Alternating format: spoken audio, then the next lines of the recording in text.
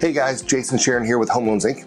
What I'm known for is VA loans. I enlisted in the Navy when I was 17 years old in 1993. After a 20 year successful career, I retired in 2013. During that time, I was a part time real estate agent. I thought about maybe getting the mortgages. I reached out to my old mortgage guy, Wade. He hired me. I worked for him for three years, and then I opened up my own company, Home Loans Inc. That was a little bit over three, almost four years ago. When I got my first mortgage, it was difficult and confusing, and I didn't know what was going on. I decided to not be that loan that type of loan officer. I wanted to be the type of loan officer that taught and guided and educated throughout the entire process. That's why when I wrote my book, VA Mortgage Declassified, I wrote it from a veteran homebuyer's perspective. Here at Home Loans Inc., we are no fee brokerage. We get paid by the lender, not by you. Now that doesn't mean you don't owe me anything. If I do well for you, you owe me a five-star review and two referrals. If you need additional assistance, please give us a call here at the Home Loans Inc. team.